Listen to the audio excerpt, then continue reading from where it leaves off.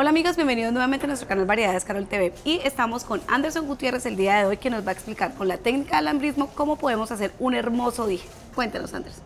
Claro que sí, bienvenidos una vez más. Eh, la idea cuál es? Eh, aprender a trabajar con lo, que, con lo que tenemos. El día de hoy el tutorial va a ser mm, hermosísimo y van a aprender a, a, decorar dijes en diferentes tipos de materiales o con esa misma forma, con esa misma aplicación. Entonces sean bienvenidos y pasemos a la elaboración. Bienvenidos.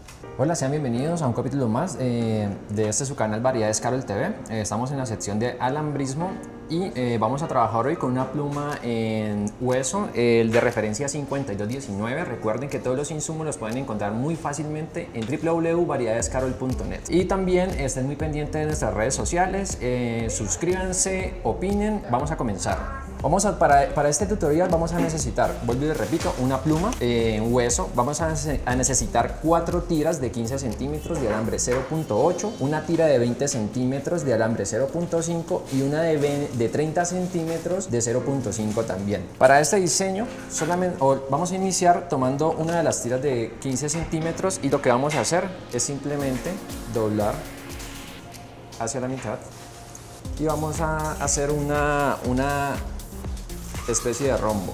¿Esto con qué fin? Con el fin de adornar la pluma que quede supremamente lindo. Nos quedó un poquito ancho, no importa, simplemente es cuestión de adelgazar esta partecita y va a quedar así. ¿Qué vamos a tomar ahora? Con esa pinza curva vamos a darle la forma curva a, nuestra, a nuestro portadije. ¿Qué vamos a hacer? Para adelgazarla sencillamente Y se pueden apoyar también con la pinza redonda. En este punto simplemente van a ejercer presión y ya les va a quedar la forma para acomodar nuestra pluma. Eh, a modo de sugerencia, recuerden que como esto es un material hueso, por lo regular el alambre no va a ser tan fácil de que, de que, de que tome o que se, de que se pueda acomodar de una forma fija. Entonces lo ideal en este punto que vamos a tomar con nuestro cortafrío y lo que vamos a hacer es simplemente vamos a hacer unas muesquitas hacia la parte de acá. En realidad nada, nada del otro mundo, pero créanme que eso va a hacer la diferencia en el sentido de que va a mantener el, el portadije y el cargador en su lugar. En este orden de ideas, ya teniendo listo esto, ¿qué vamos a hacer? Vamos a utilizar nuestros 20 centímetros de alambre 0.5 y lo que vamos a hacer es tratar de mantenerlo más fijo posible y vamos a pasar nuestro alambre.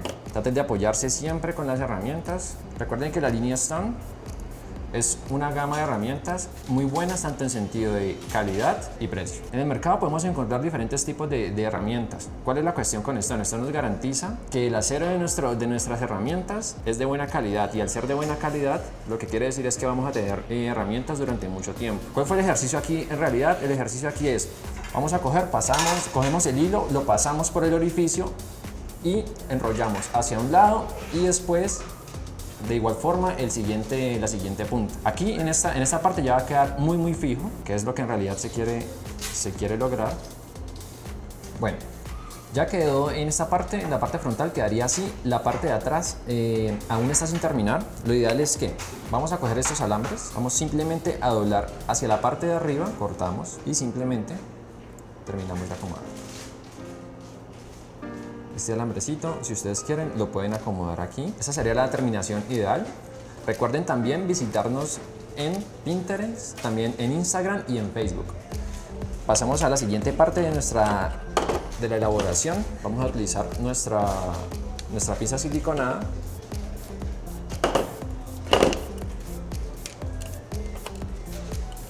Ya habiendo terminado la parte trasera, vamos a pasar al adorno de, la parte derecha de nuestra pluma. ¿Qué vamos a hacer? Vamos a tomar nuestro alambre y vamos a simplemente a pasarlo entre orificio y orificio.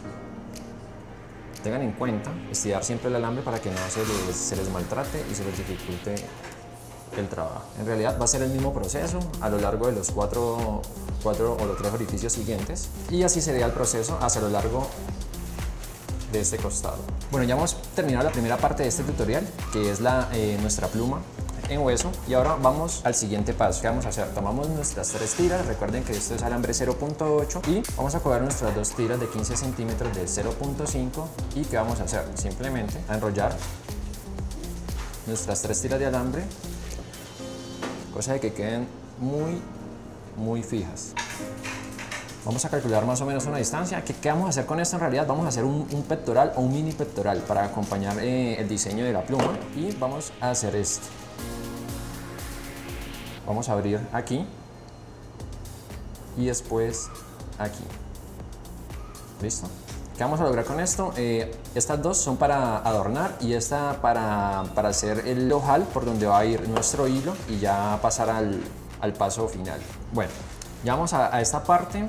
Eh, ¿Qué vamos a hacer aquí? Vamos a hacer un arabesco. Vamos a mostrarle la forma más fácil de, de hacerlo. Mm, obviamente vamos a apoyarnos en nuestra pinza redonda.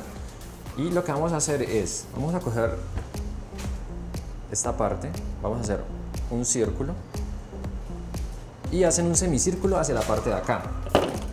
Aplastas. En esta parte comienzas a trabajar tu arabesco. Supremamente fácil.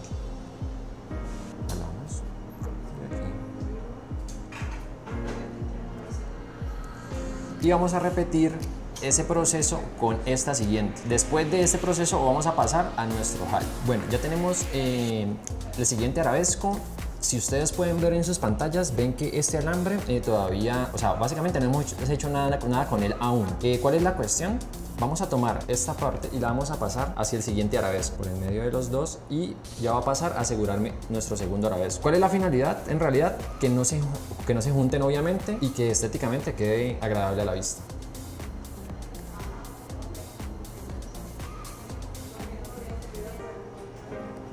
Ustedes en casa pueden darle el espacio que quieran. Yo en realidad hacia la parte de aquí di seis vueltas y hacia esta parte eh, podrían ser seis vueltas también. No habría ningún tipo de problema. Está sujeto pues a, cambios de parte de, de, la persona que está aprendiendo. Vamos a cortar y este es el efecto que nos va, que nos va, que vamos a lograr. De igual forma vamos a entorchar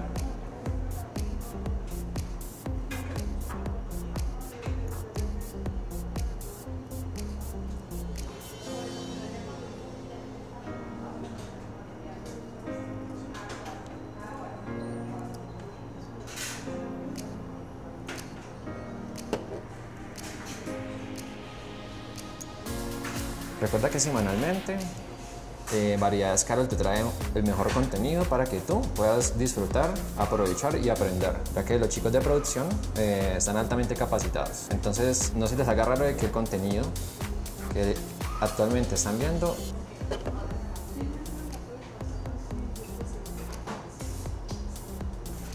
El producto final en uno de los lados es esto. ¿Qué vamos a hacer ahora?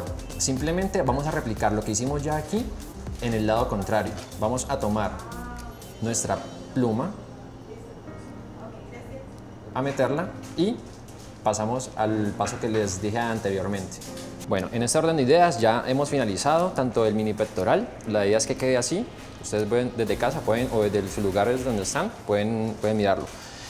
¿Qué vamos a hacer ahora? Vamos a coger el metro y medio de nuestro cordón víbora. Recuerden que este, este cordón víbora es supremamente fácil de utilizar. Aparte de todo, viene en una gama muy amplia de colores. O sea que tienen material para que puedan trabajar con gusto.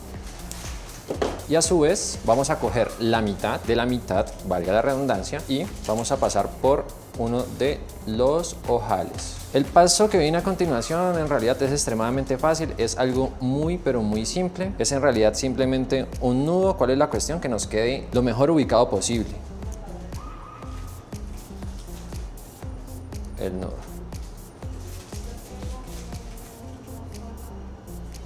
Así.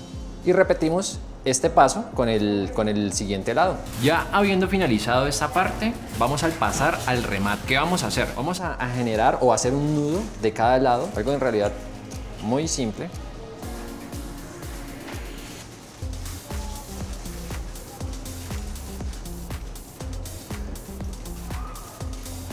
Usamos nuestro cortafrío y en estas partes de aquí, eh, como es un cordón acerado, cuando rematen con la candela, créanme que les va a quedar eh, una terminación impecable. Para finalizar, vamos a tomar nuestro alambre 0.8, calibre 0.8 y lo que vamos a hacer es que únicamente enrollar alrededor del hilo, cosa de que en realidad la finalidad es que quede un collar que se pueda agrandar o empequeñecer según sea la, el caso por la decisión pues de, de- de la persona que, que tome la decisión de diseñar este o, o- o de tomar este proyecto.